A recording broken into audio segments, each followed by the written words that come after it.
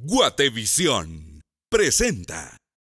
Muy buenas noches amigos, bienvenidos a un show con Tuti. Gracias por estar con nosotros una vez más. Hoy tenemos un programa especial con invitados muy especiales también. Hoy estaremos resaltando la trayectoria, el trabajo, el esfuerzo que hacen guatemaltecos destacados en el extranjero y que nos han visitado ahora en Guatemala.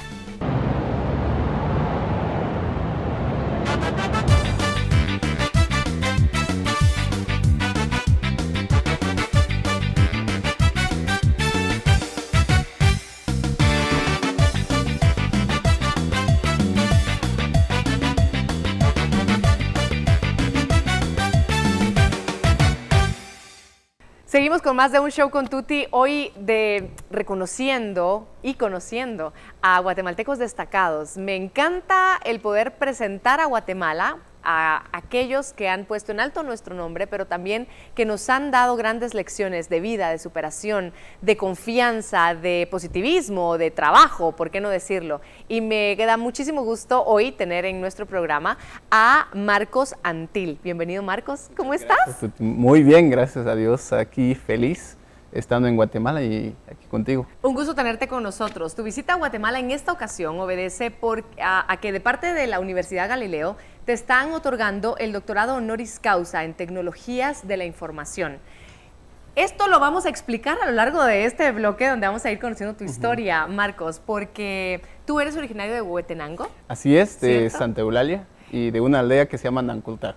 Ok, y ahí creciste por 13 años de tu vida, más o menos, ¿cierto? Es correcto. Ah, yo en Guate estuve hasta los 13, estuve en la aldea los primeros cuatro, después ah, en lo que entonces era la ciudad, que es el pueblo eh, de Santa Eulalia, y entre eso, entre fincas eh, de la costa, en algunos lugares de jornalero. Entonces eso ¿Trabajaste de, niño también acompañando a tus padres? Ah, sí, sí, claro. Ajá, trabaja, trabajé también, pues desde realmente que podía trabajar. Claro. Es muy común. ¿Cómo, cómo, fue tu infancia? Eh, Tuti, yo, yo, yo realmente tuve una, una infancia muy feliz. es, es, muy interesante. Eh, una infancia feliz en un conflicto. Ajá. Eh, que puede ser irónico. Ah, yo, por ejemplo, ah, viví en el área ah, donde había mayor conflicto en esa época. Y, y, jugábamos normal, íbamos a jugar carambolas y a jugar pelota con los amigos, pero cuando llegaban, eh, eh, o en este caso los militares o los guerrilleros, todos nos escondíamos, ya que pasaban, pasaba lo que, pues, lo que hacían eh, uno regresaba a, jugar otra vez. Entonces fue muy irónico que te decía porque yo tuve una feliz muy tranquila, tuve a mis padres, eh, tuve a mis hermanos, tuve el amor que ellos me dieron, la educación, ética, los valores, eso lo tuve siempre, entonces me mantuvo feliz. El conflicto pues era otra situación, eh, pero yo me siento muy afortunado, estuve muy feliz. De alguna manera, a pesar de, de esa situación tan dura que pudiste haber vivido, eh, te fortaleció el amor de la familia, de tus padres, como tú me lo dices. Deciden a tus 13 años viajar a Estados Unidos. ¿Por lo mismo, por el conflicto? Sí, sí, esto fue ah, por lo mismo. Inclusive yo me fui a los 13 años, pero fue como cinco años después de que mi papá se había ido. Ah, ellos ya se habían ido. Sí, nosotros somos una familia muy grande. Eh, yo tengo a cuatro hermanos y tres hermanas, ocho en total. Sí. Plus mamá y papá somos a diez. Eh, el viaje que eh, emprendimos de acá a Estados Unidos eh, pues fue de forma irregular, por lo cual era aún más caro. Entonces, primero se fue mi papá por la situación que se daba, que a él lo tenían pues amenazado a muerte, lo vinieron a buscar, a, matarlo, y tomó una oportunidad donde se sentía ah, pues a salvo y salió del, del país. Él fue el primero que se fue. Después de un año mandó por mi mamá y mi hermanita, la más pequeña. Eh, mi mamá se fue, eh, al año se regresó porque pues nos dejó, dejó a los demás. Entonces era mucho la tristeza que regresó y después al año mi papá mandó por mis hermanos, eh, que eran los mayores, que podían, llegando, podían comenzar a trabajar. Y después mandaron por mi mamá, por mis, ah, ah, por mis dos, tres hermanas y un hermanito y eventualmente la situación que se daba es de que eh, no, no, no, había suficiente dinero para llevar a toda la familia. En ese caso yo era el mayor, eh, de los que quedaban y fue realmente cuando yo le dije a mis padres que, que, no, que, que, yo me quedaba y que no tenían que decidir tanto y de todas maneras quería seguir eh, terminando el sexto grado. Es uh, interesante, yo no quería eventualmente irme y uh, pues eso tomé esa oportunidad y me quedé eh, un año atrás. Ya después pues mis padres me dijeron que tenía que ir, eh, aunque no quería, realmente no quería. Yo uh, pues tenía mis amigos, además en una excursión de sexto grado me trajeron a Escuintla a una escuela que no me acuerdo, era de monjas, eh, que me encantó y me decían que si hacía bien que podía venir a estudiar por medio de, medio de becas. Entonces yo estaba ilusionado por eso y realmente no quería irme, pero pues a los 13 años fue cuando yo me fui eh, eh, en eso. Entonces eso fue más o menos casi a, lo, que, lo que pasó durante esos ah, primeros 13 años. Claro, llegas a Estados Unidos ya con tu familia, eh, estudias allá, ¿en qué momento te das cuenta que la tecnología es lo tuyo? Llevó tiempo. ¿Sí? Llevó mucho tiempo. No fue tan eh, rápido que lo descubriste. Eh, lo de la tecnología llegó casi hasta el último año de la universidad, que fueron entonces ya como nueve años después de haber llegado. Porque, ¿Qué estabas estudiando en la universidad entonces? bueno, yo eh, pues llegué, llegué a, lo que es uh, junior high, que ni siquiera era la secundaria. En la secundaria, que es el high school, es realmente general. Entonces ahí estudias todo, todo lo general.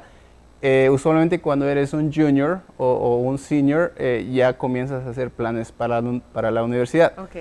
En mi caso, la universidad no era prioridad, porque la situación uh, de la mayoría de los migrantes es pues generar entonces eh, la idea de mis padres eh, era de, pues después de high school podía trabajar, entonces era para contribuir al, pues a las finanzas de, la familia.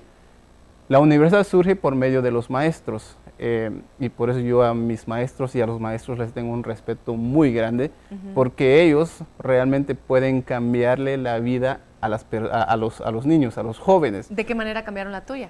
En mi caso es de que mis maestros, por ejemplo, eran los que siempre me decían, ah, Marquitos, tienes que ir a la universidad, casi todos los días. Entonces yo pues ignoraba porque no sabía que era una universidad realmente y pues tenía la, meta de, trabajar para ayudar en, eh, la, casa. Entonces yo lo, de la universidad ya en el último año, uh, Mr. Carmona se llamaba este, este profesor, este maestro que, que tanto me molestaba y me aburría. decía, ve a la universidad. No. Y después yo voy a decirle sí, a ver, para que se calle. Entonces yo le digo, una vez llega y, me dice, y Marquitos, entonces vas a ir a la universidad. Y yo le digo, sí. Buenísimo. El próximo día me trae la aplicación. Entonces fue como realmente eh, un maestro pudo hacer. Sí, porque en mi, en mi, caso, pues nadie, nadie de nosotros había ido a la universidad. Obviamente no es culpa de mis padres, simplemente era la situación que se daba. Eh, salir de lo que uno está acostumbrado a algo nuevo, eh, esto fue gracias a, mis, a mis maestros. Llegas a la tecnología y te das cuenta que tienes un gran talento para desarrollo, para el trabajo. Eh, ¿Te sorprendió esto?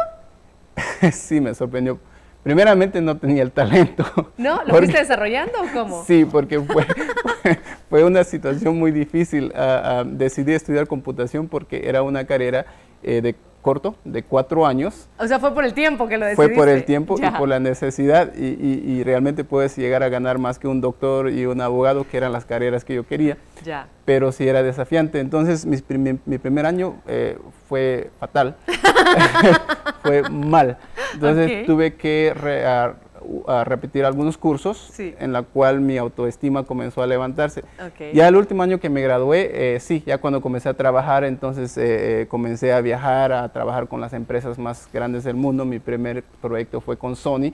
Entonces eso realmente ya cuando me di cuenta de que la programación, quizás también con, con, con la carisma y con no tener miedo, era una combinación perfecta y fue donde logré enamorarme de mi carrera.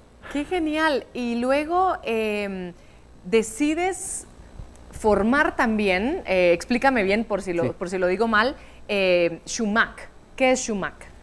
Shumac es, eh, primeramente, es, una empresa que, comenzó como oportunidad, que era mi, la oportunidad para mí, para mí mismo. eh, lo que pasó es de que yo comencé a trabajar con una empresa eh, suiza y a los tres años sentí llegar al, techo, no podía pasar eh, a, lo que yo realmente quería. Yo trabajo mucho, yo soy muy dedicado, soy muy apasionado, me enfoco y, logro usualmente lo que hago, pero en este caso no podía pasar. Eh, hablé con las personas, no me dejaban pasar y, me comencé a frustrar. Entonces es cuando me di cuenta de que eh, busqué otros trabajos, habían, pero llegaban al mismo final. Entonces yo decía, en tres años voy a estar frustrado otra vez. Entonces, en lugar de hacer eso, canalicé esa energía para mejor crear mi propia empresa, porque decía, si, si, si todo va a ser así, mejor comienzo la mía. Y crecer todo lo que tú quieras. Exacto, y si me voy a frustrar, por lo menos sea por algo que, que yo mismo uh, comencé y me culpo a mí mismo. Entonces fue como comenzó la, la, empresa y Shumak es un nombre muy simbólico, es un nombre eh, en canjobal que significa flor o florecer, que es plantar la semilla, verlo crecer y verlo florecer eso era la idea. Qué bonito. Con esto, bueno, has llegado a muchísimos países en el mundo, realmente has sido reconocido, has recibido, bueno, reconocimientos, hablaba de uno que recibirás en Guatemala, en, esta, en este viaje que has hecho. Sin embargo, eh, has sido también nombrado como personaje del año, por ejemplo, en Prensa Libre. Eh, atrás de los logros académicos, intelectuales, profesionales, me parece que hay una historia muy hermosa también de Shumac, de florecer, pero desde tu corazón, desde las capacidades de un ser humano. ¿Qué te gustaría decirles a las personas que ven su futuro limitado, que lo ven sombrío, que creen que no tienen oportunidades? Eh, yo creo que lo, importante es cambiar esa mentalidad de no ver oportunidades, o, porque el desafío no es justamente, eh, sí quizás se me sea fácil decir esto, pero yo lo viví, ya salí de experiencia, no es, no es realmente eh, el gobierno, no es eh, tus padres, no es tu trabajo, e, es uno. Entonces cuando tienes una mentalidad de que, bueno, si hago esto, pues va a haber desafíos, van a haber en todas partes. Entonces lo, que yo quisiera decir es de que realmente es, eh, hay que soñar, hay que soñar en grande y creer primeramente en uno, que nosotros somos ese motor. Ya cuando tienes el deseo, tienes la pasión, tienes las ganas, todos tenemos el poder con eso combinado puedes romper cualquier barrera. Entonces eh, yo pues los, los, apoyo y, los eh, animo a que sigan soñando y realmente dejar que las barreras los te, defiendan o te definen, eh, porque pues tú vas a ser la persona que, que, te vas a detener antes que otros te detengan. Claro. Entonces yo les digo pues que, que se animen y que no tengan miedo a emprender o hacer lo que quieren hacer. Me encanta conocerte, Marcos, de verdad. Eso es un pedacito realmente porque un programa dedicado a guatemaltecos que como tú han hecho la diferencia. Y más allá de resaltar los logros, insisto, intelectuales, eh, económicos, empresariales, como usted lo quiera ver, me encanta y nos encanta en un show con Tuti resaltar los logros personales, los del espíritu, lo de la, los de la persona que nos inspira a otros a seguir los sueños, como tú decías, Marcos, a, creer en nosotros mismos, a hacer la diferencia. Bendiciones, esta es tu casa. Muchísimas Hablo del show con Tuti, pero también Guatemala, por supuesto. Gracias por, por darnos tantas lecciones y el ejemplo de vida. Muchas gracias, gracias por la oportunidad y pues que Dios la siga bendiciendo. A ti también, gracias, por acompañarnos. Tenemos que ir a la pausa comercial, amigos, y tenemos mucho más. Siga con nosotros. Seguimos con nuestro programa y la frase de esta noche está a cargo de Simón Bolívar y dice, para el logro del triunfo siempre ha sido indispensable pasar por la senda de los sacrificios.